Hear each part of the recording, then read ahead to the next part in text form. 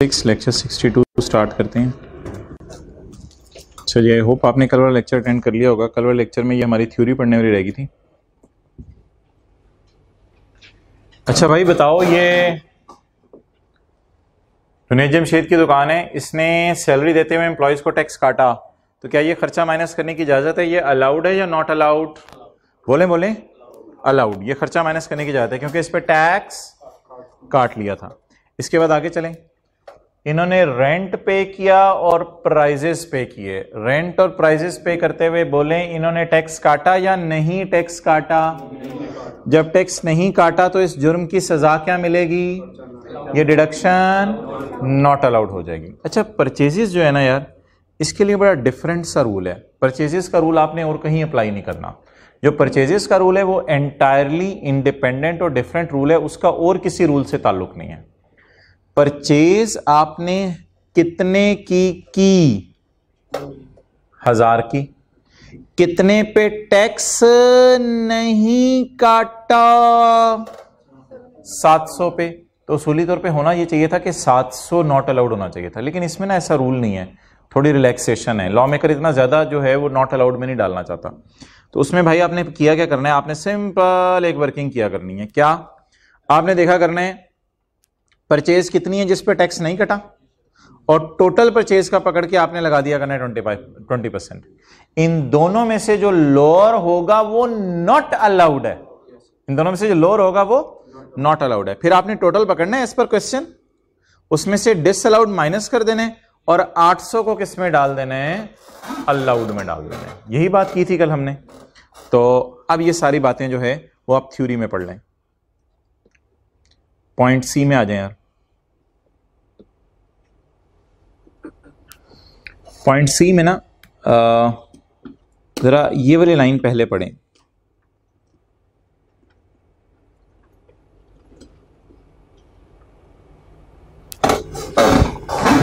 ये वाली लाइन पढ़े, समझ आ रही है? डिडक्शन विल बी अलाउड खर्चा माइनस करने की इजाज़त है। इफ़ द पर्सन पर्सन से मुराद कौन है? बिजनेसमैन। कल मैं बार बार लिखवा रहा था आपको, बिजनेसमैन। खर्चा will be allowed if the person यानी businessman has deducted the tax has required by law अगर सरासिफ को एक लाख रुपया सैलरी देते हुए पंद्रह हज़ार टैक्स काट लें तो बोले, खर्चा माइनस करने की इजाज़त है या माइनस करने की इजाज़त नहीं है? यार ये मैं स्काई ब्लू से हाईलाइट किया है। इसका मतलब क्या है? एक्सेलेंट ये काफ़ी नहीं है कि सरासिफ को सैलरी आप लाख रुपया दे रहे हो तो पंद्रह हज़ार उसमें से टैक्स काट लें और एट्टी फाइव थाउज़ेंड सरासिफ को दे दें, बल्कि पंद्रह हज़ार जो काट के रखा है राइस वालों ने अपनी दराज में, वो दो चार दिन में जाके एफ़ बी आर के ख़जाने में जमा भी करवाना ज़रूरी है। तो बताएँ क्या दो शराइ हैं जिसकी बुनियाद पे जे डॉट की अगर मैं बात करूँ तो उसको खर्चा माइनस करने की जात है। अगर जे डॉट वाले सैलरी पे टैक्स काट लें और हुकूमत के ख़जाने में जमा भी करवा दें तो इन शराइत को पूरी करने पे लाइन पढ़ें डिडक्शन विल बी अलाउड तो फिर खर्चा माइनस करने की इजाज़त है। क्लियर होगी अच्छा अब इसको ना पिछले से पिछले सफ़े से मिला के पढ़ें। बल्कि पिछले सफ़े से मिला के।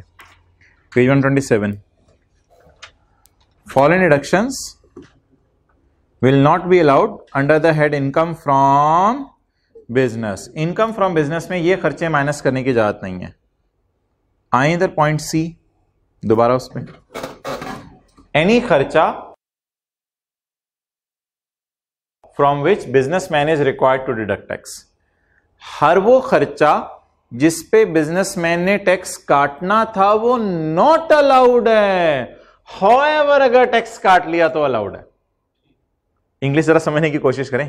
पिछले सफे से मिला के following deduction will not be allowed हर वो खर्चा जिस पे तुमने टैक्स काटना था, वो खर्चा तुम माइनस नहीं कर सकते। हाउ एवर खर्चा माइनस कर सकते हो अगर उस पर टैक्स काट लो। अब पीछे से मिला के बात समझ आ गई? अब एक दो दफ़ा पढ़ लें इसको। बात तो वही है।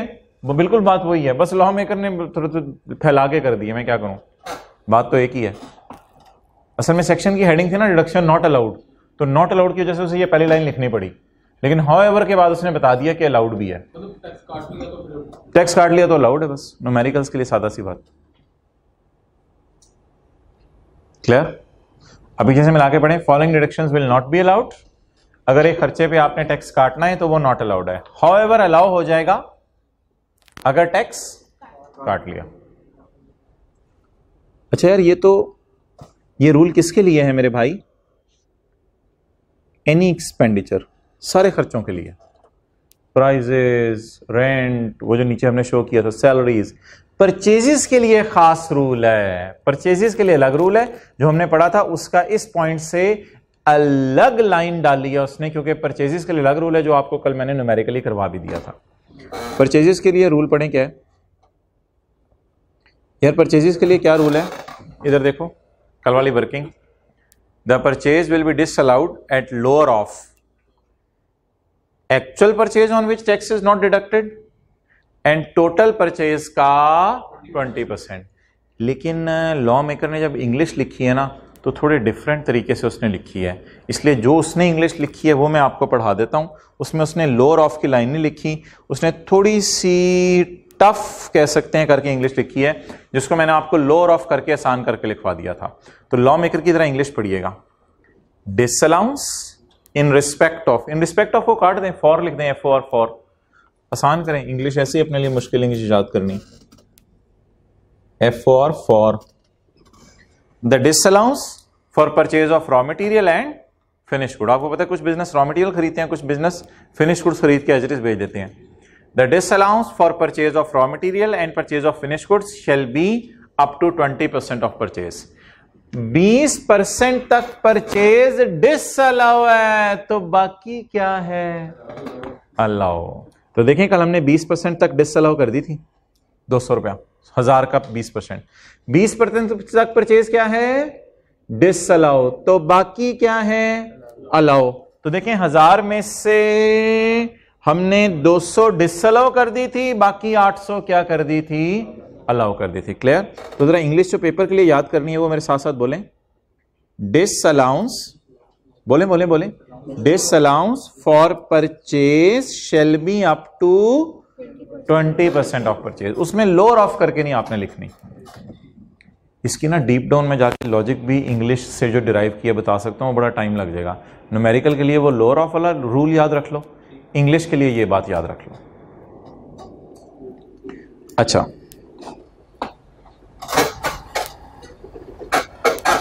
ये रूल सिर्फ़ किसके लिए है? परचेज के लिए सैलरीज के लिए रेंट के लिए या सिर्फ़ परचेज के लिए? सिर्फ़ परचेज के लिए।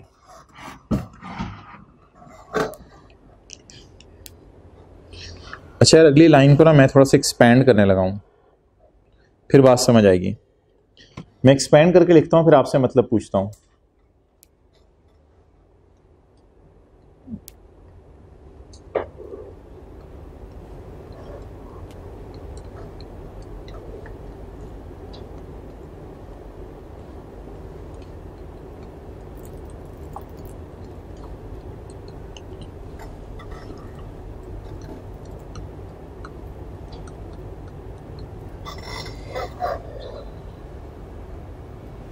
बताएँ।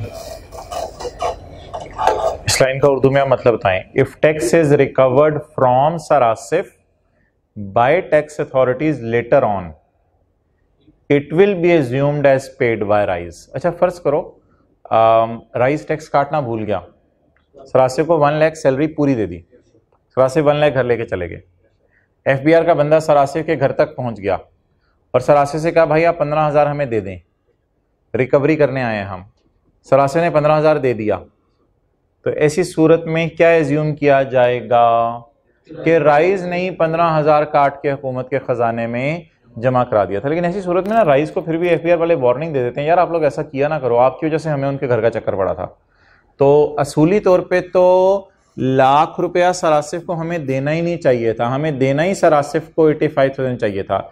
लेकिन राइज वालों से थोड़ी सी सुस्ती हो गई। उन्होंने लाख रुपया पूरा दे दिया।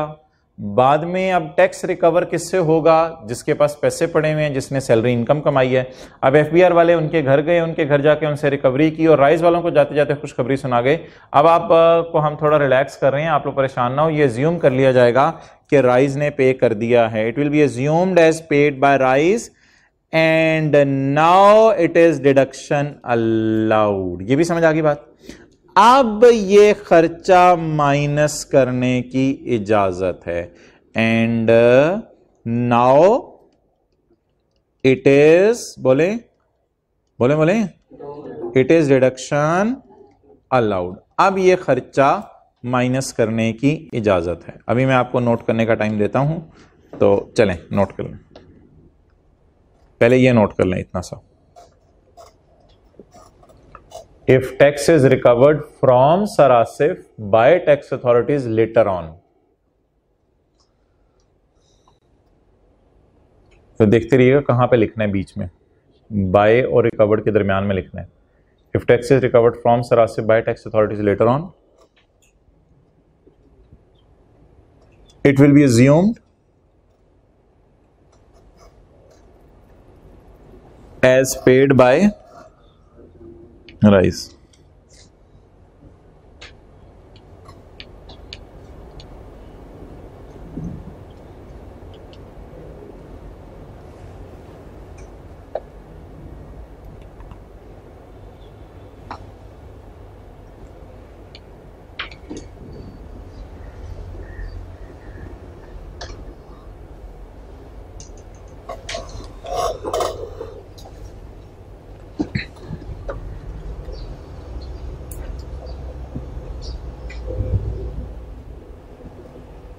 चलें जी।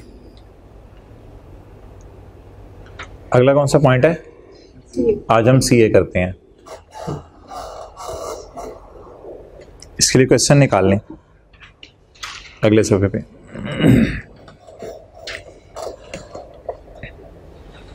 अच्छा एक सेल्स टैक्स एक्ट है हमारे सिलेबस में।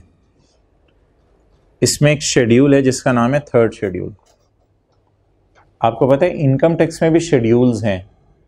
इनकम टैक्स में एक शेड्यूल है, जिसका नाम है schedule, first schedule. First schedule है पेज थर्टी और थर्टी वन, जहाँ पे टैक्स रेट्स दिए हैं। मैं वहाँ जाके आप देख सकते हैं पेज थर्टी थर्टी वन पे।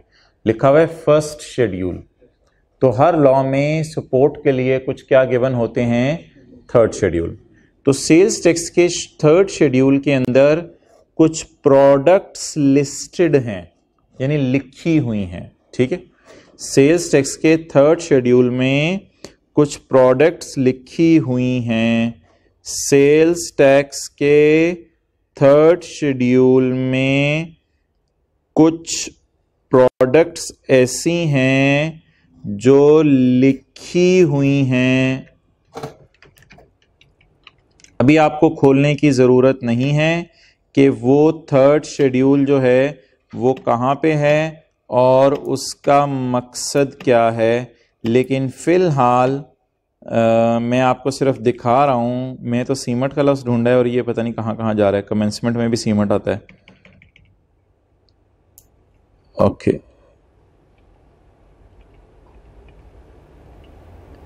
ये किताब में मैं सेल्स टैक्स का थर्ड शेड्यूल ढूंढना चाह रहा हूँ। आपको भी देखने की ज़रूरत नहीं है।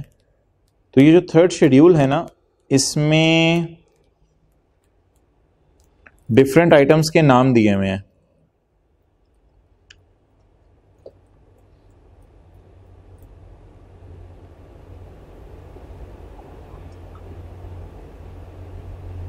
किधर गायब हो गया?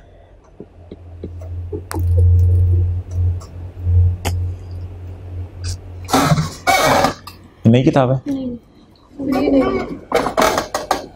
तो इसमें आप निकालें page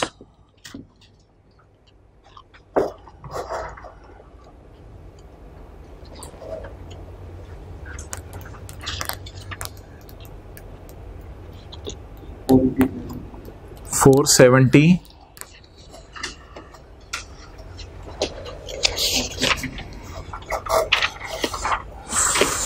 Four fifty seven. इसमें four fifty seven page. 457 page पे ना आपको कुछ आइटम्स लिखे हुए नज़र आ रहे हैं। इसमें फ्रूट जूस थर्ड शेड्यूल का लफ्ज ढूंढे कहीं। फ्रूट जूसेस और वाटर और पता नहीं क्या क्या इस किस्म की कुछ चीज़ें लिखी हुई नज़र आ रही हैं। तो ये जो आइटम्स है ना, ये सेल्स टैक्स में है और किस शेड्यूल मैंने पुरानी किताब अपनी खोली हुई है। ये ये आइटम सेल्स टैक्स में और थर्ड शेड्यूल में fruit juices toothpaste shaving cream अच्छा इनके बारे में कोई लॉ रूल बताने लगा है? तो इन आइटम्स को तो याद करने की ज़रूरत नहीं, लेकिन बस इतना सा याद रख लें, वापस आ जाएँ। जिस पेज पे हम थे पेज 129 पे, कि सेल्स टैक्स में कोई थर्ड शेड्यूल है। थर्ड शेड्यूल में कोई प्रोडक्ट्स लिस्ट डाउन कर दी गई हैं। उनके बारे में कोई रूल है। ठीक है? अच्छा ये जो आ, हमने चीज़ें पढ़ी हैं जैसे फ्रूट जूसेस हमने पढ़े हैं या मिनरल वाटर भी वहाँ आ रहा था एटसेट्रा ये जो दुकानों पे चीज़ें बिकती हैं तो ये लॉ मेकर कहते हैं दुकानदार हैं दो किस्म के। एक अच्छे दुकानदार एक बुरे दुकानदार। उनके लिए लॉ का रूल अलग है बुरे दुकानदारों के लिए लॉ का रूल अलग है।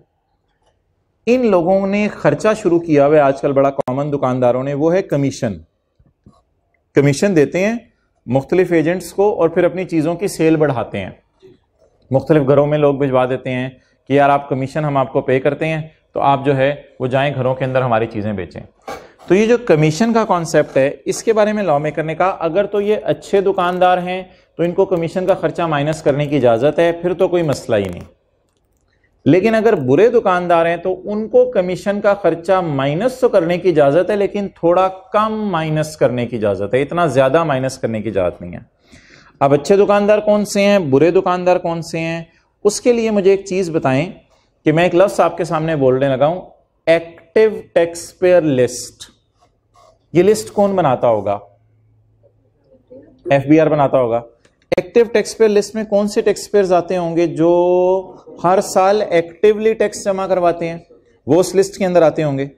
तो एफबीआर जो एक्टिव टैक्स पेयर लिस्ट बनाता है, अगर किसी दुकानदार का उसमें साल साल से नाम आ रहा है तो उस बंदे को अच्छा दुकानदार कह देंगे। और अगर उस एक्टिव टैक्स पेयर लिस्ट में नहीं आ रहा दुकानदार का नाम तो उसे बुरा टैक्स पेयर कह देंगे। वो कभी टैक्स जमा करा देता है, कभी टैक्स जमा नहीं कराता। एक्टिव टैक्स पेयर लिस्ट की डेफिनेशन अनलकीली हमारे सिलेबस में नहीं है। लेकिन लफ्स इतना वाजे है कि समझ आ रही है बात एक्टिव टैक्स पेयर लिस्ट अच्छा अब रूल क्या है? वो सुन लें जी। पढ़ें सवाल। Taimur is selling in the juice products listed in third schedule of sales tax act 1990 he has provided you the following details for tax year 2020 उसकी दुकान की सेल है 5000 और कमीशन है 15 तो सवाल की दो रिक्वायरमेंट्स हैं। पहली रिक्वायरमेंट है calculate his income for tax year assuming his name is appearing in active tax payer list अगर वो एक्टिव टैक्स पे लिस्ट में उसका नाम आ रहा है, यानी वो अच्छा दुकानदार है तो उसका न्यूमेरिकल कैसे सॉल्व होगा? इसमें कोई मसला ही नहीं। ये पाँच हज़ार इधर लेके आएँ और ये पंद्रह इधर लेके जाएँ नॉर्मल तरीके से न्यूमेरिकल सॉल्व करें। सेल इनकम है कमीशन एक्सपेंस है तो माइनस किया तो 4985 के साथ आप लिख लें, ये आपकी निकल आई इनकम फ्रॉम बिज़नेस तो ये आपकी इनकम फ्रॉम बिज़नेस है, यानी इस बंदे को पूरा खर्चा माइनस करने की इजाज़त है, क्योंकि ये अच्छा दुकानदार है। ओके अब पॉइंट टू बड़ा मज़े का यार।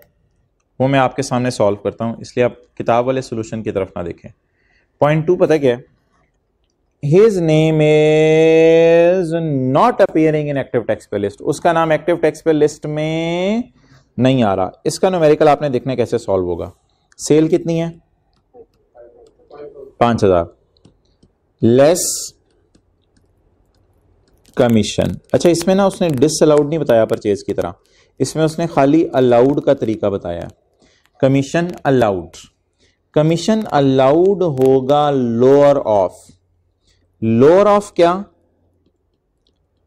एक्चुअल या point two percent of sale actual या point two percent of sale सवाल में बताएँ एक्चुअल कितने? फिफ्टीन यार ये point two percent of sale पता है क्या होता है? Point zero zero two into sale याद रखना पॉइंट टू परसेंट बोल रहा हूँ। ट्वेंटी परसेंट नहीं बोल रहा था। Point two percent of sale point two percent का मतलब होता है पॉइंट टू को भी डिवाइड करो सौ से। यही मतलब होता है ना? कैलकुलेटर पकड़े आप। Point two percent of sale twenty percent नहीं टू परसेंट नहीं point two percent of sale तो पॉइंट टू को जरा हंड्रेड से डिवाइड करें। क्या जवाब आया? पॉइंट ज़ीरो ज़ीरो टू अब इसको सेल से मल्टीप्लाई करें। टेन आ गया, दस रुपए।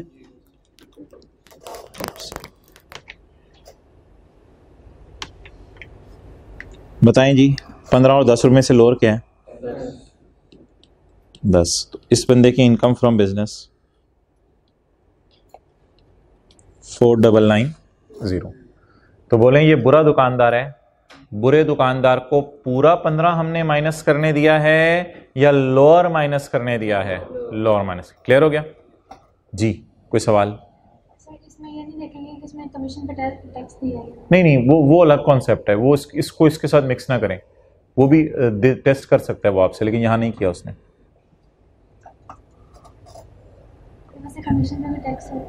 हाँ। जी होता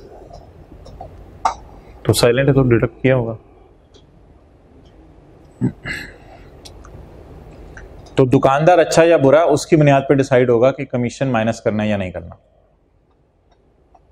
अच्छा है तो सारा माइनस करना है, बुरा है तो लोअर ऑफ़ करके।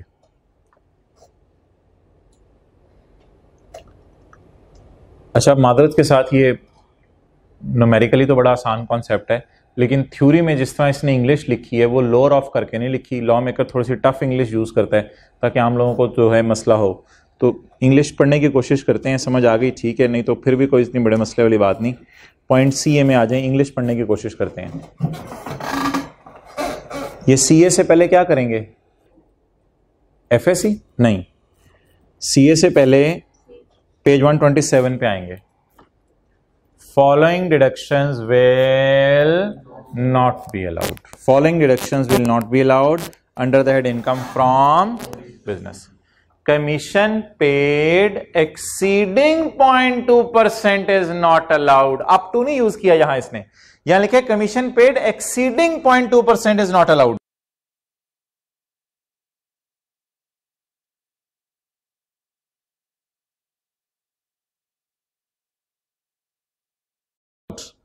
देखो इधर कमीशन पेड था 15 exceeding 2 percent exceeding point two percent है, पाँच पाँच डिसअलाउ हुआ है और दस अलाउ हुआ है।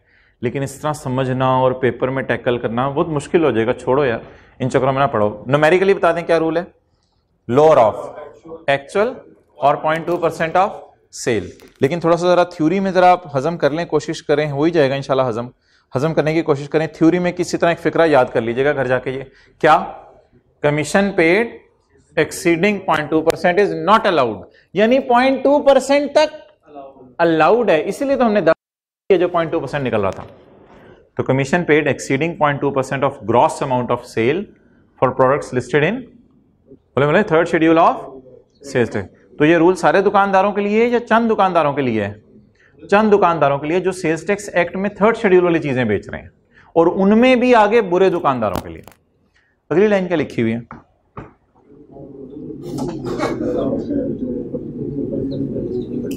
क्या मतलब है इसका अच्छा। हाँ अगर अच्छा दुकानदार है तो फिर तो कोई मसला नहीं फिर आप सारा खर्चा माइनस कर लें।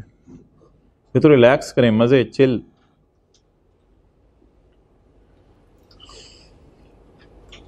Okay okay. अगला पॉइंट है जी डी इंटरटेनमेंट अगर लिमिट्स क्रॉस कर रही है तो फिर माइनस करने की इजाज़त नहीं है। और अगर इंटरटेनमेंट लिमिट्स के अंदर है तो माइनस करने की इजाज़त है। पढ़ें। कहाँ से मिला के पढ़ेंगे? वो पिछले सफे से। Following deductions will not be allowed entertainment expenditure exceeding the limits as may be prescribe का मतलब है जो लॉ बता दे। तो लॉ ने नीचे लिमिट्स बताई हुई हैं। अभी मैं पढ़ाने लगा हूँ आपको लिमिट्स तो इंटरटेनमेंट एक्सपेंडिचर अगर लिमिट्स क्रॉस कर जाए तो फिर ये बोलें क्या हो जाएगा? Following deductions will not be allowed ऊपर से मिला के पढ़े ना। तो following deductions will not be allowed अगर इंटरटेनमेंट लिमिट्स क्रॉस कर जाए तो नॉट अलाउड अगर अगर विद इन लिमिट्स रहे तो अलाउड अब लिमिट्स देख लेते हैं क्या है। ये क्या लफ्स आ जाता है बीच में? Rule ten of income tax rules income tax rules कभी पढ़े हैं आपने?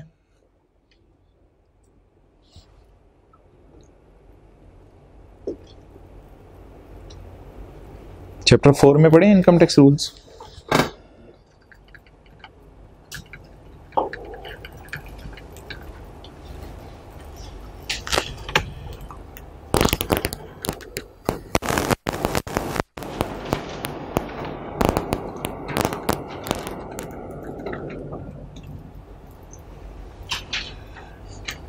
क्या था? रेजिडेंट आने और जाने का दिन पूरा गिना जाएगा। इधर ऊपर क्या हेडिंग दी हुई है? रूल्स और इधर पिछले सफ़े पे जो 183 डेज़ वाला पॉइंट था पेज 36 पे, इधर क्या हेडिंग दी हुई थी? रेजिडेंट इंडिविजुअल सेक्शन 82 सेक्शन 82 होता है इनकम टैक्स ऑर्डिनेंस का। इनकम टैक्स ऑर्डिनेंस आया था 2001 में। तो टैक्स ऑर्डिनेंस में जो चीज़ें क्लियर नहीं थी, उनको समझाने के लिए रूल्स आए थे। रूल्स आए थे 2002 में। इनकम टैक्स रूल्स 2002 तो 183 में आने और जाने का दिन काउंट करना है, ये बात थोड़ी कॉन्ट्रावर्शियल थी तो इसलिए रूल ने समझा दिया कि आने और जाने का दिन पूरा काउंट करना है। ये रूल्स आपने कई जगह पढ़े हैं। इसी चैप्टर में आपने एक और जगह भी ऑर्डिनेंस से हट के रूल्स पढ़े हैं। ये देखें। ये अपोर्शनमेंट ऑफ़ एक्सपेंडिचर रूल तेरह। पेज फोर्टी पे। पेज फोर्टी पे देखें। अपोर्शनमेंट ऑफ़ एक्सपेंडिचर रूल तेरह। तो और पिछले सफ़े पे सेक्शन दिया हुआ है। पिछले सफ़े पे सेक्शन 67 दिया हुआ है। तो जब कभी ऑर्डिनेंस में ज़्यादा तफसील ना हो तो समझाने के लिए क्या आ जाते हैं? रूल्स आ जाते हैं। वापस आ जाएँ जितने sorry chapter eight chapter eight में आके हाँ रूल्स में एक रूल है टेन जो समझाएगा इंटरटेनमेंट कौन सी लिमिट्स में रहते हुए है। अब इंटरटेनमेंट की मिसालें सुनना शुरू करें। जो जो इंटरटेनमेंट एक्सपेंडिचर अलाउड है। A deduction for entertainment expenditure shall be allowed shall be allowed हजरात, ये अलाउड की मिसालें हैं नॉट अलाउड की मिसालें नहीं हैं। ये अलाउड की मिसालें देने लगे। Reduction for entertainment expenditure shall be allowed if the expenditure incurred wholly and exclusively for the purpose of business जाहरी बात है एंटरटेनमेंट बिज़नेस के लिए होगी तो अलाउड होगी ना। ऐसा तो नहीं कि ओनर घर घर से अपने मेहमानों को बुला के बिज़नेस के दफ्तर में खाना खिला रहे हो, कह दे कि ये इंटरटेनमेंट अलाउड है। ये इंटरटेनमेंट तो अलाउड नहीं होगी। तो जो बिज़नेस के लिए हो, वो अलाउ होगी। अच्छा बिज़नेस अब ये नहीं कि कोई छोटा सा कारोबार हो रहा है। बिज़नेस तो बाहर के मुल्कों में जाके भी आप जो है वो ट्रांजेक्शन्स करते हैं। तो अगर कोई भी खर्चा बाहर के मुल्क जाके कर दें on entertainment for foreign business transaction बाहर के मुल्क से आपने पाकिस्तान से कोई बंदे भेज दिए बाहर के मुल्क कि यार जाओ कोक ने बाहर के मुल्क में कोई बंदे भेज दिए जाओ बाहर से कोई मशीन लेके आओ बोतलें बनाने वाली। तो ठीक है, बाहर आपने कोई इंटरटेनमेंट की, ये खर्चा अलाउड है नॉर्मल सा खर्चा है बिज़नेस का, कोई मसला नहीं। और where expenditure is allocated as head office expenditure हो सकता है नेस्ले का हेड ऑफ़िस किसी बाहर के मुल्क में हो। उस हेड ऑफ़िस ने उधर हैवी इंटरटेनमेंट का खर्चा किया हो। तो पाकिस्तान आज को कहा थोड़ा सा खर्चा आप भी बर्दाश्त करेंगे, क्योंकि हेड ऑफ़िस लेवल पे ओवरऑल हमारा इमेज पूरी दुनिया में बढ़ेगा तो थोड़ा सा खर्चा इंटरटेनमेंट का आप भी बर्दाश्त करें। तो अगर हमारा हेड ऑफ़िस बाहर के मुल्क है, वो बाहर खर्चा करे और थोड़ा सा हमारे पे बर्डन डाल दे कि हम भी पे करें उस खर्चे को तो ये भी खर्चा नॉर्मल है एंटरटेनमेंट का खर्चा है आपको अलाउड होगा। और where expenditure is allocated as head office expenditure यानी हेड ऑफ़िस ने खर्चा किया बर्डन ब्रांच पे शिफ्ट कर दिया। तो ब्रांच की खर्चा नॉर्मल सा ब्रांच का खर्चा अलाउड होगा। इसका क्या मतलब है? Incurred in Pakistan on entertainment of foreign customers and suppliers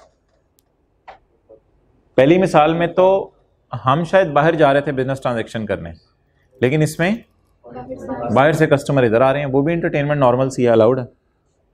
Incurred on entertainment of customers at business premises ये तो लोकल होंगे ना फिर। फ़ौरन ऊपर कस्टमर कवर हो गए तो ये लोकल कस्टमर होंगे।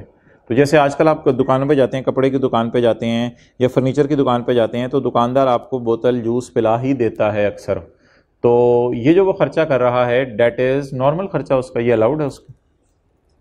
इनका date meeting of shareholders agent director employees इनका डेट ओपनिंग ऑफ़ ब्रांचेज यानी न्यू ब्रांचेज लिख लें आप। जो नई ब्रांच ओपन होती है किसी भी बैंक की या किसी भी कॉलेज स्कूल की तो नई ब्रांच ओपन करने के ऊपर खुशी में इंटरटेनमेंट करवा देते हैं लोगों को। खाना खाना खिलाना वगैरह। तो ये सारा का सारा अलाउड है।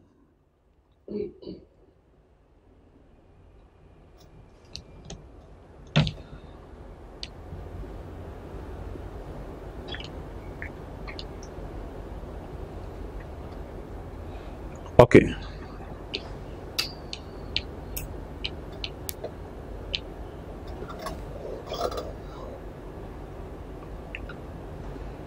चले जी, अगली लाइन क्या लिखी हुई है? पॉइंट टू अच्छा ये ए बी सी डी क्या थे? नॉट अलाउड थे? अलाउड की लिस्ट है?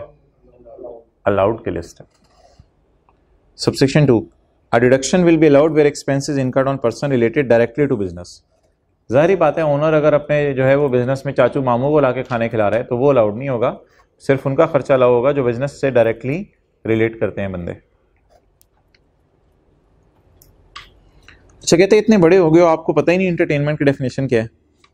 आज कहते हैं, मैं आपको इंटरटेनमेंट की डेफिनेशन पढ़ाता हूँ। एंटरटेनमेंट मीन्स द खाना खिलाना रिफ्रेशमेंट बोतल जूस बिस्किट एंड रीजनेबल रहने की सहूलत देना।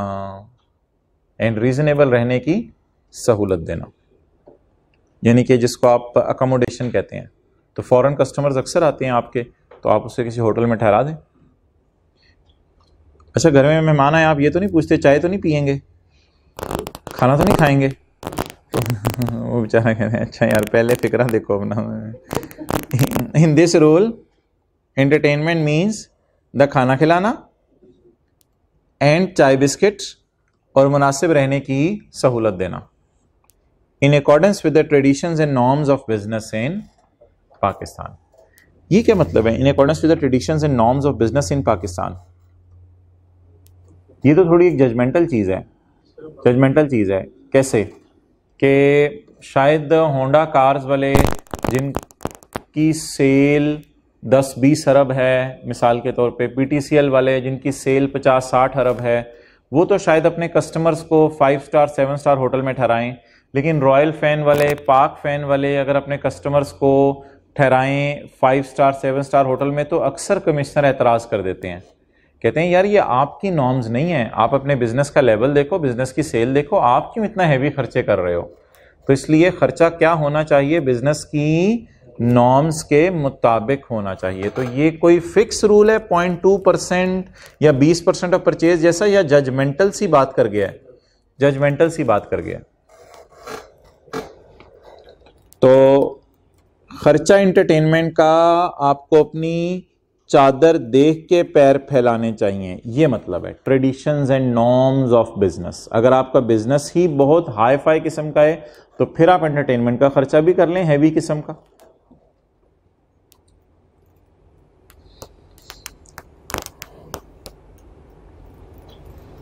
ओके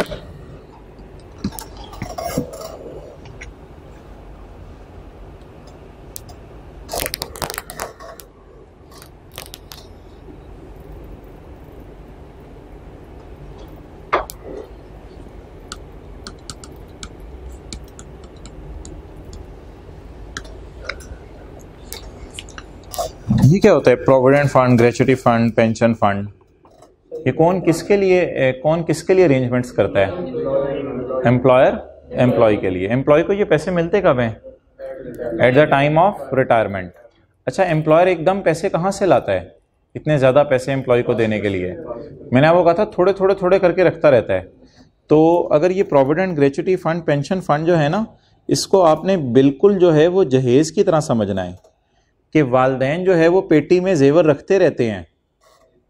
हालाँकि भी दूर दूर तक बेटी की शादी का ज़िक्र नहीं होता, लेकिन वो पेटी में जेवर रखना शुरू कर देते हैं। It is a contribution by parents लेकिन वो बेटी को इस्तेमाल करने की इजाज़त नहीं है अनटल मैरिज कि शादी से दो साल पहले वो कहे, ये तरह जेवर मुझे निकाल के दे दें। तो इसी तरह एम्प्लॉय होता है।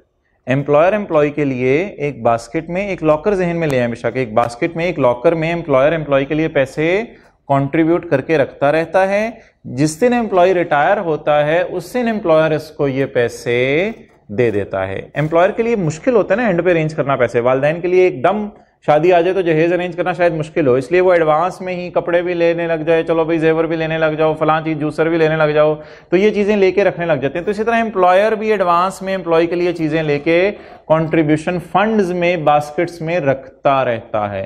ताकि जब एम्प्लॉय रिटायर हो तो एम्प्लॉयर के ऊपर बर्डन ना पड़े।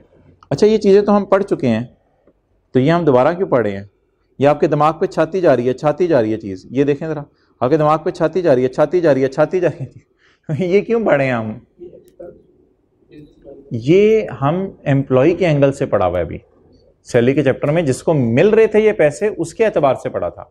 अब हम उसके एतबार से नहीं पढ़ रहे जिसको मिल रहा है। अब हम उसके एतबार से पढ़ने लगे हैं जो ये पेमेंट्स करेगा। और वो कौन है? एम्प्लॉयर और सवाल है कि एम्प्लॉयर के लिए ये खर्चा है या नहीं? क्योंकि एम्प्लॉय के लिए तो ये चीज़ें क्या हैं? इनकम है।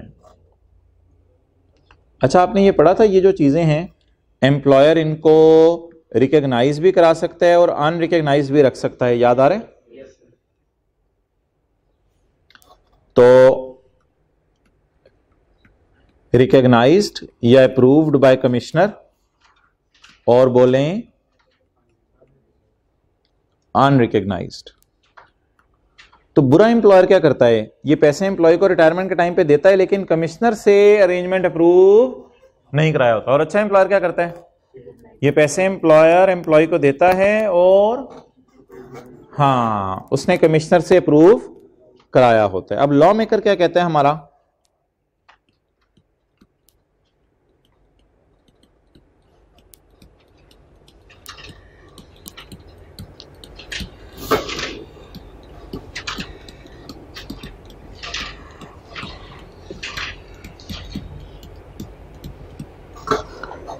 ये कैसा लॉ है? अजीब सा लॉ है ना ये तो। कहते हैं कि अगर तुम कमिश्नर वगैरह से प्रूव करा भी लो ये अरेंजमेंट तब भी मैं ये खर्चा तुम्हें अलाउ नहीं करूँगा। और अगर तुम अप्रूव ना कराओ, तब तो बिल्कुल ही ये खर्चा अलाउ नहीं करूँगा। मेरे ख्याल से तो लॉ मेकर ने यहाँ पे कन जूस, मक्खी चूस बना है। यहाँ पे तो उसे क्या करना चाहिए था? हमें खर्चा क्या कर देना चाहिए था? अलाउ कहते हैं हाँ हाँ हाँ हाँ डिडक्शन नॉट अलाउड है।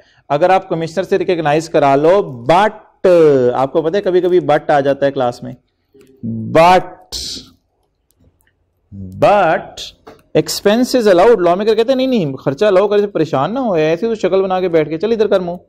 But expenses allowed if effective arrangements are made for tax deduction.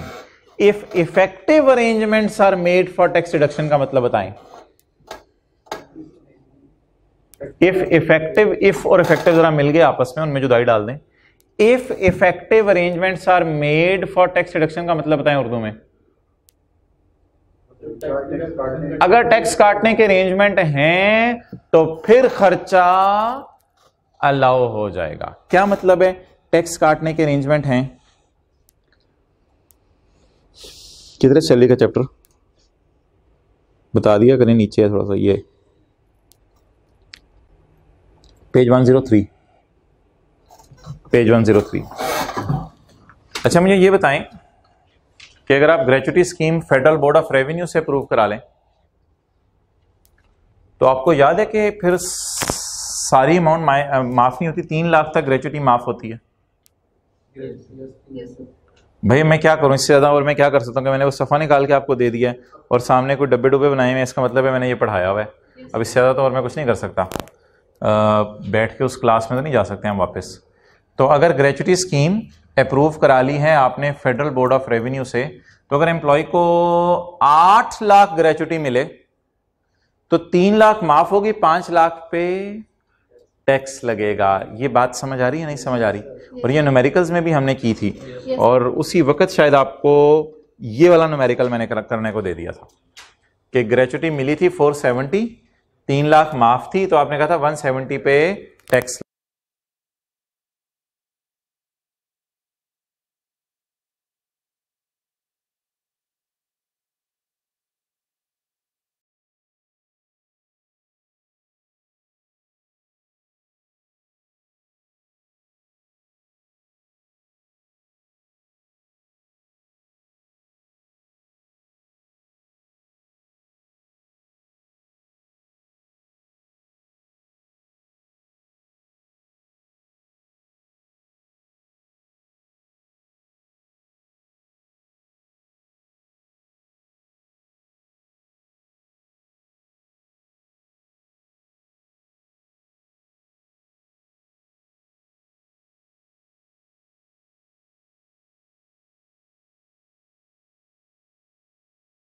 लगना है। समझ आ गई बात?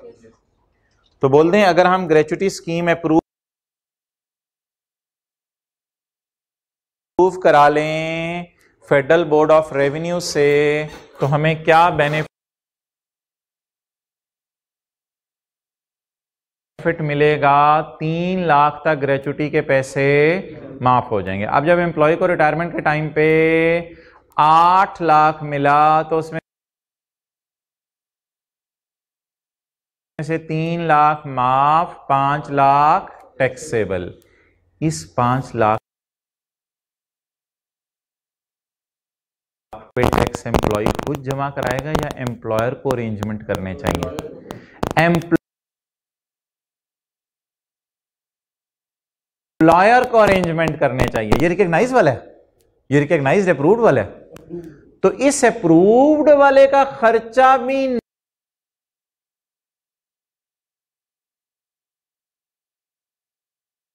नॉट अलाउड है। अगर एम्प्लॉयर ने उस पाँच लाख पे टैक्स काटने के अरेंजमेंट नहीं किए हुए।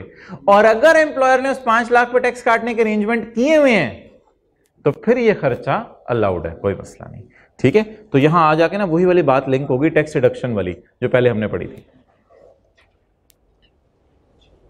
अब जरा एक दफ़ा मुझे पढ़ने दें। ये लाइन समझ आ रही है, फिर उसके बाद आप नोट करें। ये लाइन अब आपको समझ आ रही है? अगर रिकग्नाइज प्रोविडेंट फंड है तो लॉ मेकर कहते हैं, खर्चा माइनस करने की इजाज़त नहीं बट बट या however expenses allowed if effective arrangements are made for tax reduction अच्छा इफ़ेक्टिव अरेंजमेंट्स आर मेड का क्या मतलब है? कि टैक्स एम्प्लॉयर ने काट लिया या काटने का वादा कर लिया एक तरह का? वादा कर लिया एक तरह का। असल में होता ही है ना कि एम्प्लॉयर जैसे जहेज होता है थोड़ा थोड़ा करके घर वाले रख रहे होते हैं। अभी शादी नहीं आई होती। इसी तरह एम्प्लॉयर थोड़े थोड़े पैसे करके रख रहे बास्केट में और कमिश्नर को तसली दिला रहे परेशान ना हो। जब ये रिटायर होगा, मैं इंशाल्लाह टैक्स काटूँगा, तुम मेरे से परेशान ना हो। ये अरेंजमेंट आप कैसे करके दिखा सकते हैं हुकूमत को? ये जरा सुनिएगा, ये अरेंजमेंट कैसे करके दिखा सकते हैं हुकूमत को? अभी तो वो रिटायर हुआ ही नहीं। तो टैक्स तो कटा ही नहीं उसका। तो ये अरेंजमेंट मैं फिर कैसे दिखाऊँ हुकूमत को कि टैक्स मैं काटूँगा? ये तो एक तरह का वादा है आपका। जैसे भाई आप जाने लगे हो क्या कहते हैं, अपने दोस्तों के साथ सैर पे मरी तो अबू पूछे अरेंजमेंट कर लिए तो आप बस मास्क और सैनिटाइजर दिखा सकते हैं। अबू ये ये देखे नहीं हाँ हाँ बेटा सही है। और अगर आप ये अरेंजमेंट शायद ना दिखा सके, आप जूते और हॉकी और फुटबॉल हो बेटा तुम ना जाओ। तुम तो तुझसे कुछ और ही लेके आओगे। तो तुम ना जाओ, तुम्हारी मेहरबानी। अरेंजमेंट ऐसे ही दिखाए जाते हैं ना? कमिश्नर को अरेंजमेंट कैसे दिखाए जाते हैं, ये ज़रा सुन लें। आप कमिश्नर को बता देंगे यार देखो हमने एक सीए नौकरी पे रखा हुआ है उसको लॉ आता है। तो वो हर दफ़ा ना हमारा टैक्स बिल्कुल सही कैलकुलेट करता है। और कमिश्नर तुम्हें याद है पिछले साल दो तीन एम्प्लॉयज़ जब रिटायर हुए थे वो बाबा जी रशीद और बाबा जी रहमतुल्ला जब वो रिटायर हुए थे तो हमने उनका टैक्स काट के आपको जमा कराया था? तो ये देखो इससे अच्छे और, और अरेंजमेंट आपको कहाँ मिलेंगे जितने अच्छे अरेंजमेंट हमने टैक्स काटने के किए हुए हैं? हमने एक्सपर्ट्स को हायर किया हुआ है वो हमें अच्छे मशवरे देते हैं। और हमारा पास देखो हम लोगों का टैक्स काटते रहे हैं तो परेशान ना हो कमिश्नर इस एम्प्लॉय के लिए अगर हमने पैसे फंड में रख दिए हैं इसको देने के लिए तो जब ये जाएगा इन तो आठ लाख अगर इसके बनेंगे तो तीन लाख माफ़ करके पाँच लाख पे हम आपको टैक्स जमा कराएँगे कमिश्नर परेशान होने की ज़रूरत नहीं है। अब नोट कर लें। अब नोट करें। अच्छा अच्छा। चलें आप नोट करें। हाँ बस बस बस ऐसे ही अरेंजमेंट्स हैं। और क्या, कोई टेंट उंट तो नहीं लगाने ना हमने अरेंजमेंट्स में? कोई खाने तो नहीं, देखे तो नहीं पकवानी अरेंजमेंट्स में?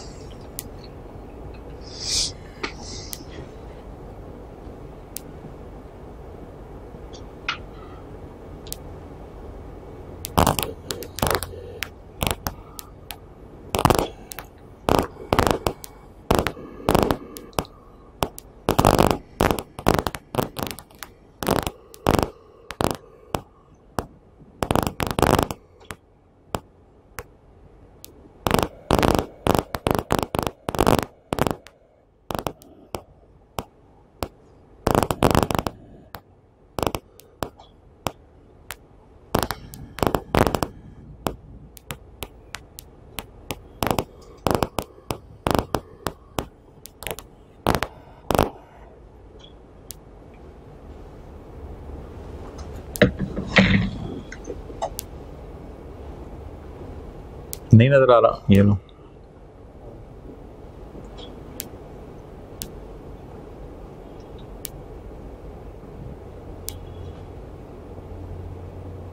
ओके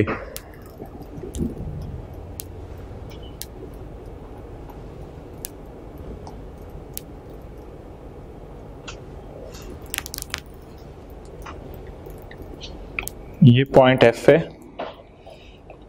और ये जो भी मैं पढ़ाने लगा हूँ पॉइंट ई है।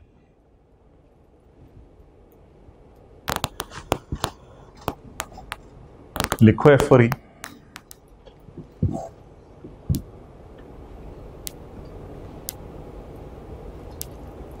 चलें जी। बैठे बैठे चलें। पॉइंट ई कैसे पढ़ूं मैं? क्या, कैसे पढ़ूं? कैसे पढ़ना शुरू करूँ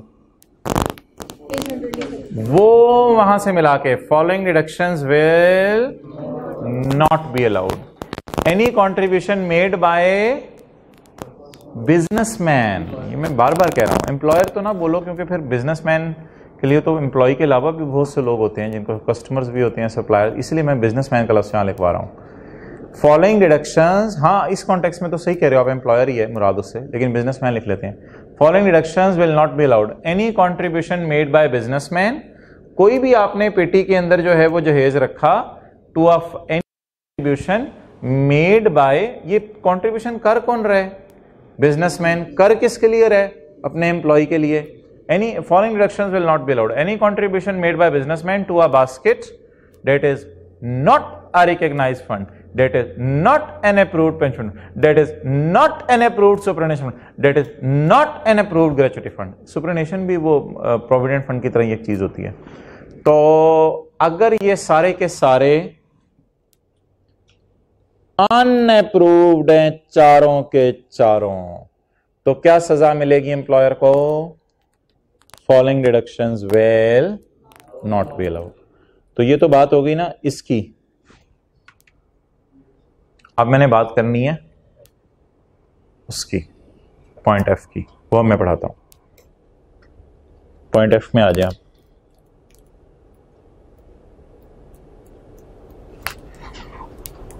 कहाँ से शुरू करें पॉइंट एफ़ पढ़ाओ? Following deduction will not be allowed contribution contribution कौन करता है? अम्मी अबू, बच्चों के लिए एम्प्लॉयर एम्प्लॉय के लिए। Following deductions will not be allowed. Contribution to any. ऐसे यहाँ any से मुराद ना लोग कहते हैं कि रिकग्नाइज मुराद है। क्योंकि ना, पीछे अनरिकग्नाइज का ज़िक्र हो गया, इसलिए लोगों की राय है कि यहाँ एनी से मुराद लॉ मेकर का मतलब है recognized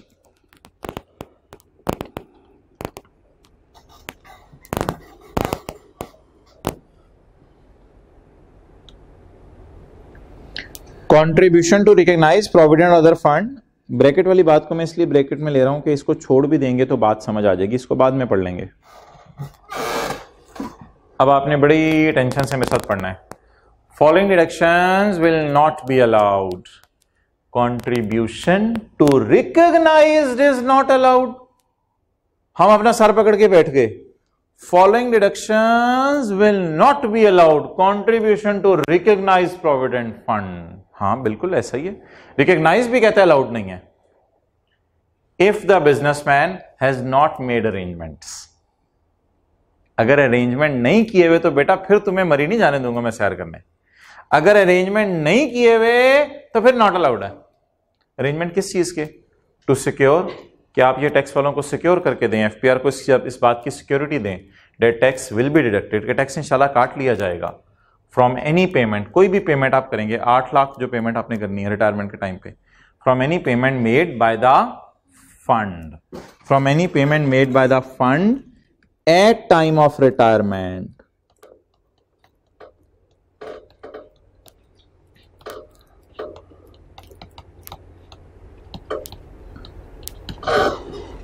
दो तीन दफ़ा ना? आप ऐसा करें, इसको ना ऊपर से मिला के पढ़ें। ऊपर से, ऊपर जाने की ज़रूरत तो नहीं। ऊपर तो एक, जब भी जाएँगे, अल्लाह बुलाएगा। Following deduction will not be allowed वाले लफ्ज से दो तीन दफ़ा मिला के इसको पढ़ें।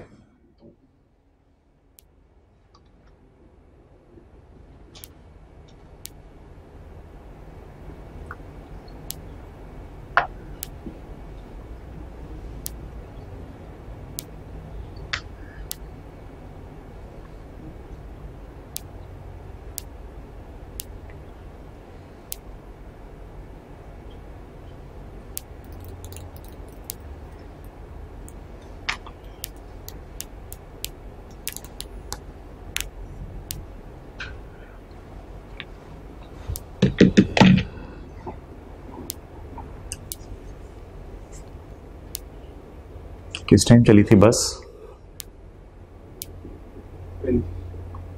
पैंतीस पे? क्या टाइम है क्लास का? नहीं नहीं, मुझे देखने दो, मैं देख लेता हूँ टाइम टेबल से।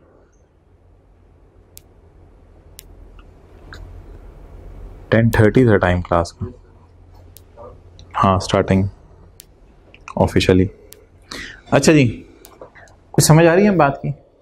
Following deductions will not be allowed contribution to recognize is not allowed कब if the businessman has not made arrangements अगर आपने अरेंजमेंट्स नहीं किए हुए अरेंजमेंट किस चीज़ के नहीं किए हुए टू सिक्योर डेट कि ये इस बात आप सिक्योर करें कि टैक्स काट लिया जाएगा from payment made by fund at the time of retirement and you have not made any arrangements if arrangements are not made then it is not allowed but if arrangements are made then it is allowed चलें, आगे आ जाए point जी इसके नीचे तो line लगी हुई है, ये पढ़ लिया हुआ हमने? अच्छा ये सुबह की क्लास में लगी हुई थी। अच्छा। अच्छा ऐसा ना किया करें, ये सुबह की क्लास में अगर मैंने ये लिख लिया है उधर तो इसको लिखा रहने दिया करूँ और आप आके नोट कर लिया करें। नहीं फ्रेश फ्रेश नोट होना चाहिए ना? ज़बरदस्त। चलें, आगे आ जाएँ। अच्छा पढ़ें जी point G point G is about fine fine या पेनल्टी? बोले बोले बोले। फाइन या पेनल्टी। अच्छा फाइन या पेनल्टी गवर्नमेंट को भी आप पे कर सकते हैं और नॉट पेड टू गवर्नमेंट ऐसा भी हो सकता है। ऐसा कैसे हो सकता है कि हुकूमत के अलावा किसी को फाइन पे करें?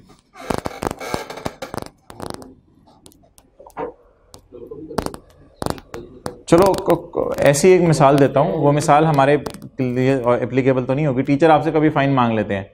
तो वो अब फ़ाइन आप हुकूमत के खाने में जाके जमा कराते हैं। सर, मैं फ़ाइन ज़रा इमरान खान को दे हूँ। आपने मेरे से मांगा है। ठीक है? तो इसी तरह बिज़नेस में बहुत से फ़ाइन्स होते हैं जो आप गवर्नमेंट को पे नहीं करते। मिसाल के तौर पर राइस वाले के पास कल शाम को ना ये हम आ गए थे कि बच्चे बहुत ही आ गए हैं और उनका शोर भी आ रहा है। तो अब वो तकरीबन कोई चालीस हज़ार में देखे ना मुकमुका हुआ है। तू सीरियस समझ जाता है यार, बातों को यार, तुम यार सीरियस ना समझा कर। मैं तुझे एक दफ़ा कहा था कि इस बिल्डिंग का ऑनर जावेद में आता था तू सीरियस हो गया था हमें मानना है। अच्छा तो ये फाइन अब हमने हुकूमत के खजाने में जाके जमा कराया है या हमसायों को पे किया है? हमसायों को पे किया तो बोले it is paid to government या it is not paid to government लेकिन बिज़नेस वाले बिजनेसमैन ने किया कॉलेज वालों को करना पड़े। चालीस हज़ार दे के कल शाम को बात सारी खत्म हुई थी। बंदे भी आए थे कुछ उनकी तरफ़ से। तो चालीस हज़ार दे के मुकमुका हुआ था। उन्होंने फ़ाइन मांगा था।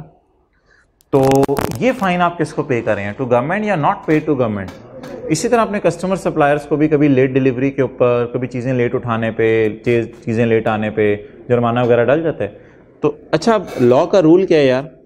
लॉ कहते हैं, ये तो आपके नॉर्मल से खर्चे हैं। ये मैं आपको अलाउ कर देता हूँ। लेकिन अगर आप हुकूमत का कोई जुर्म कर रहे हो तो ये मैं बर्दाश्त नहीं कर सकता। ये मेरी तरफ़ से नॉट अलाउड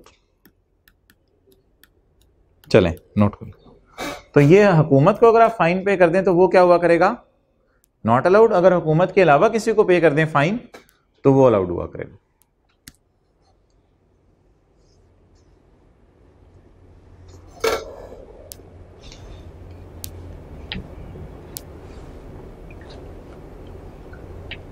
वैसे तो ये सादगी है आपकी।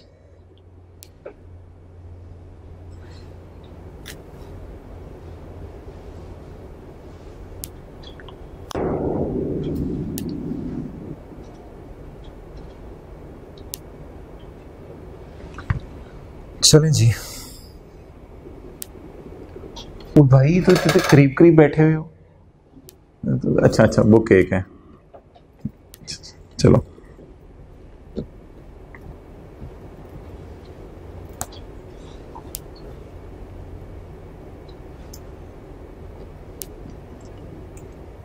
पढ़े जी पॉइंट जी। एनी फाइन और penalty paid by the excellent कौन बोले बिजनेसमैन गुड एनी फाइन और penalty paid by the businessman for the violation of any law rule और रेगुलेशन लेकिन प्लीज़ लॉ रूल और रेगुलेशन ऑफ़ गवर्नमेंट प्लीज़ हम सायों के बनाए हुए कानून नहीं, कि हम साय ने कानून गेट के बाहर लिख के लगाया हुआ सौ रुपये जुर्माना मोटरसाइकिल यहाँ लगाने वाले को। तो वो हुकूमत के खजाने में नहीं जाना फिर। तो ये देखें ये देखें, ये ये ये ये रूल लॉ रेगुलेशन किसके होने चाहिए? गवर्नमेंट बोल रहे हो या गवर्नमेंट बोल रहे हो या गवर्नमेंट बोल रहे हो? चलो छोड़ो स्पेलिंग सही होने चाहिए। आगे चलो। आप लिखा ना। पॉइंट एच एच बोलते हैं एच बोलते हैं। सी ए करें।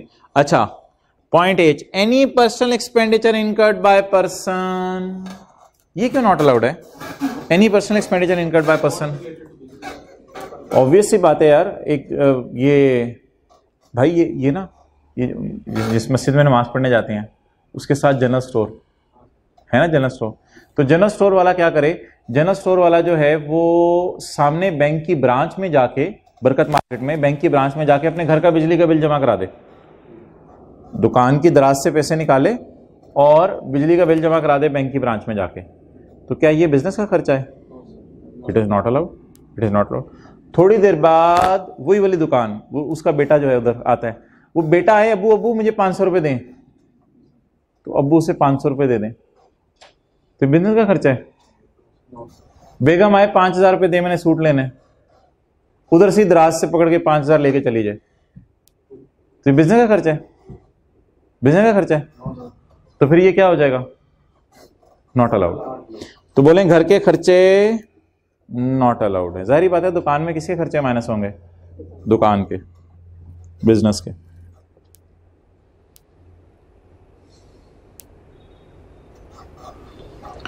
Point I any amount carry to reserve fund और कैपिटलाइज इन एनी वे इसको छोड़ें, इसको बस क्रैम कर लें।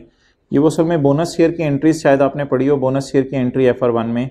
रिटेन अर्निंग डेबिट और शेयर कैपिटल क्रेडिट या शेयर प्रीमियम का भी डेबिट और शेयर कैपिटल क्रेडिट इस तरह की कुछ एंट्री होती है।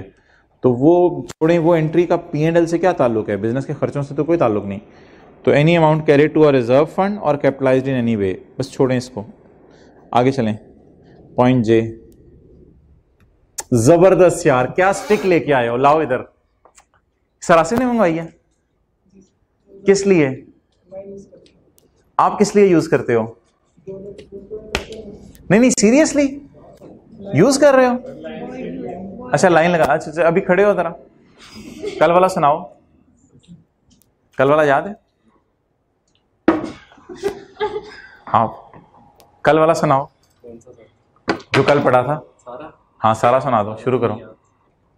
अजीब बंदा चलो। चलें जी। Point J J for joker sitting on your left अच्छा जी पॉइंट जे पढ़े जी।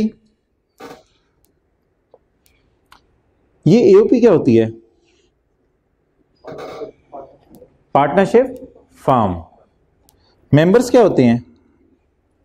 पार्टनर्स अच्छा आप लोगों ने पढ़ा हुआ इंट्रो की क्लास में पार्टनर्स को सैलरीज भी दी जाती हैं। अगर कोई पार्टनर ज़्यादा देर बैठे, उसको सैलरी भी दे दी जाती है। कोई पार्टनर बंदे घर के ले आए तो उसे कमीशन भी दे दिया जाता है। और अगर कोई पार्टनर लोन दे दे तो उसे इंटरेस्ट भी पे किया जाता है। अब ये सारे याद रखिएगा बिज़नेस के खर्चे नहीं है, क्योंकि पार्टनर बिज़नेस का ओनर है। और इसके लिए वेट करें चैप्टर ट्वेल्व का। चैप्टर ट्वेल्व में हम इसके न्यूमेरिकल्स करेंगे। जब एओपी का चैप्टर आएगा चैप्टर ट्वेल्व में इसके न्यूमेरिकल्स करेंगे। लेकिन बोले पार्टनर्स को जो पेमेंट्स है, वो एक तरह की ड्राइंग्स हैं या बिज़नेस का खर्चा है? लॉ मेकर कहते हैं, तुम तो ऐसे ही कह रहे हो पार्टनर को सैलरी दे रहे हो, ये पार्टनर को सैलरी सुलरी कोई नहीं होती, ये पार्टनर तो बिज़नेस का ओनर है ओनर को कौन सी तनख्वाह दी जाती है? लेकिन जहरी बात है, नाम हम उसको सैलरी रखते हैं, कुछ ज़्यादा टाइम पार्टनर देते हैं, उसे सैलरी दे भी देते हैं। लेकिन लॉ मेकर की नज़र में ये बिज़नेस का खर्चा नहीं है। एक बात आपसे कर देता हूँ मुझे गालिब गुमाने कि आपको याद आ जाएगी अल्लाह करे आ जाए याद।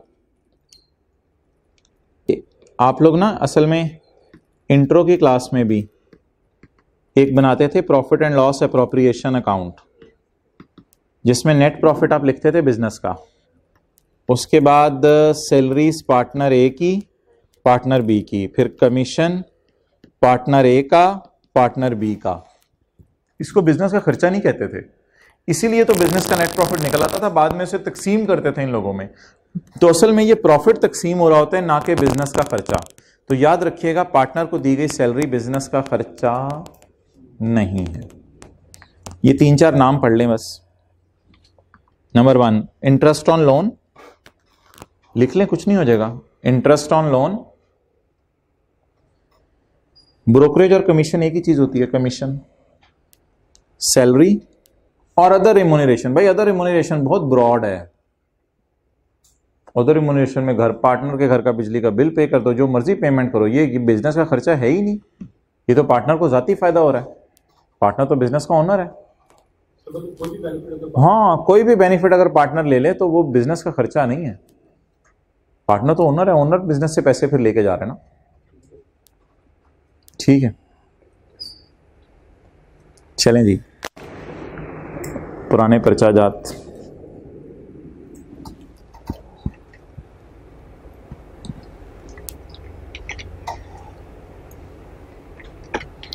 साजिद वाला सवाल ढूँढने देखें पहले कौन ढूंढता है। ये मैंने पहले ढूंढ लिया। क्या कह रहा है तू? टेक्नोलॉजी अच्छा।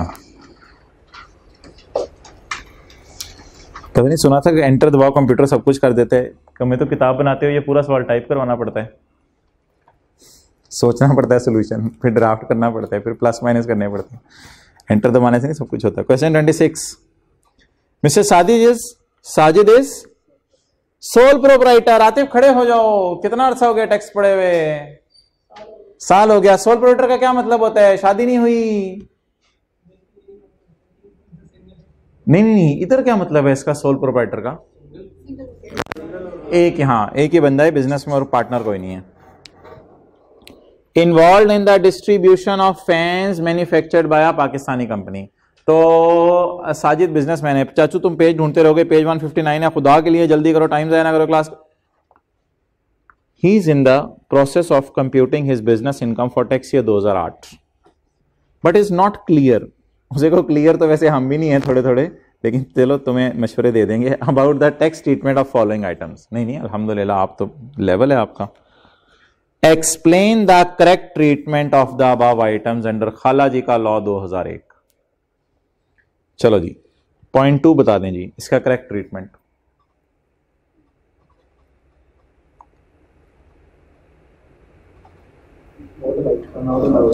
उसकी books of accounts books of accounts होता है वो जो अकाउंटिंग में बन रही हैं।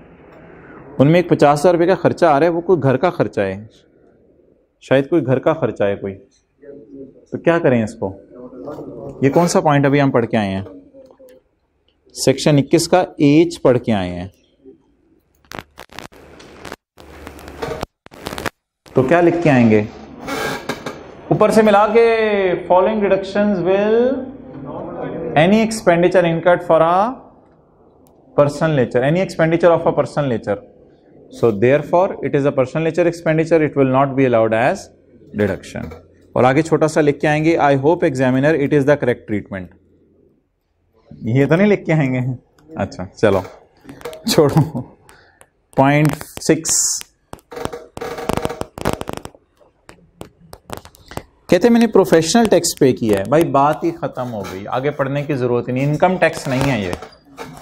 सिर्फ़ हमने पढ़ा था इनकम टैक्स नॉट अलाउड है। प्रोफेशनल टैक्स टोकन टैक्स और प्रॉपर्टी टैक्स और सो ऑन सारे टैक्सेस भाई याद रखें अलाउड हैं बिज़नेस के चैप्टर में। सिर्फ़ कौन सा टैक्स नॉट अलाउड है?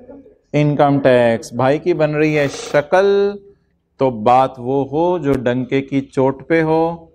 तो डंके की चोट मारते हैं इन भाई को तो इनको बात याद आ जाएगी। आम, ये देखो मोहतरम। अच्छा तो जो टैक्स बिज़नेस प्रॉफिट्स पे दिया जाता है, उस टैक्स का क्या नाम होता है? Income tax. इसके अलावा बाकी टैक्सेस माइनस करने की इजाज़त है। अच्छा अब ना कभी कभी ऐसे ही ना वो गलत बातें करके ना आपको डी ट्रैक करने की कोशिश करता है। बताएँ is it an income tax या ये प्रोफेशनल टैक्स है? इसलिए ये खर्चा क्या है? अलाउड अब देखें उसने कैसी लंबी कहानी कराई। इसको आप लोग दोस्तों में भी अक्सर बात करते हैं, यार देख कितनी लंबी कहानी करा रहा है। तो ये देखें उसने कितनी लंबी कहानी कराई। प्रोफेशनल टैक्स ऑफ़ एक lakh was paid to the government of Punjab कहते ये हुकूमत पंजाब को टैक्स दिया, बाकी सूबों में नहीं है। यहाँ से भी साबित हो गया इनकम टैक्स नहीं है। इनकम टैक्स तो पूरे पाकिस्तान में है। Such tax is to be paid by every person who is engaged in the trading business in territory of Punjab. ये जो लोग भी चीज़ें खरीद चुप जो जो लोग भी चीज़ें खरीद के बेचते हैं, उन लोगों ने पंजाब में टैक्स देना होता है। He, Sajid considers it in in inadmissible क्या होता है? नॉट अलाउड एडमिसिबल होता है अलाउड इनएडमिसिबल होता है। साजिद कहता है, यार, मेरे ख्याल से तो ये नॉट अलाउ ही हो जाएगा. साजिद, क्या हो गया? पागल हो गया तू? कहते हैं as it is paid to provincial government कहते हैं, क्योंकि ये सूबे की गवर्नमेंट को पे किया तो ये किसने मुझे माइनस करने देना है? हम एकदम गए इधर। सेक्शन 21 का ए सेक्शन 21 का ए हमने कहा, यहाँ देखते हैं, सूबे की गवर्नमेंट को जो पे करें, वो नॉट अलाउड है। हमने इसको घूरना शुरू किया। Following deduction will not be allowed any tax paid to सूबे की गवर्नमेंट हमने कहा, नहीं, ये तो कुछ नहीं लिखा। हुआ अपनी तरह से लॉ बना रहा है। कहते हैं, मेरे ख्याल से सूबे की गवर्नमेंट को पे कर रहे हैं तो मेरे ख्याल से शायद नॉट लॉ हो जाए। पता नहीं यार क्या बने मेरा। वो पागल है यार। ये क्या कहाँ लिखा हुआ है? तो वो टैक्स नॉट अलाउड है जो बिज़नेस प्रॉफिट्स पे पे किया है। इस बात के लिए ये बना है। साजिद को पड़ेगा ये। He considers it as inadmissible तुम क्यों इसको इनएडमिसेबल समझ रहे हो? हम पहले ही परेशान है, ऊपर से पेपर में, तुम हमें परेशान कर रहे हो। परेशान को परेशान कर दें, परेशान स्केयर हो जाता है। तो he considers it as inadmissible Sajid कहते हैं, मेरे ख्याल से माइनस ना करें, क्योंकि सूबे की गवर्नमेंट को दिया है। हमने कोई ऐसा रूल कल पढ़ा था कि जो जो टैक्स सूबे की गवर्नमेंट को पे करें, वो नॉट अलाउड है और जो फेडरल गवर्नमेंट को पे करें, वो अलाउड है? ऐसा रूल हमने कोई नहीं पढ़ा ना। तो ये साजिद के अपने बनाए हुए रूल हैं, जो साजिद अपने ऊपर लगाए, भाई, तेरी मेहरबानी। टैक्स कैलकुलेशन में करेक्ट ट्रीटमेंट ये है my dear Sajid it is allowed because it is not income tax इसका नाम क्या है? और अगर ये इनकम टैक्स होता, फिर ये नॉट अलाउड हो जाता। फ़िलहाल ये क्या है? अलाउड ठीक है जी क्लोज करें। कल मिलते हैं, इंशाल्लाह। Close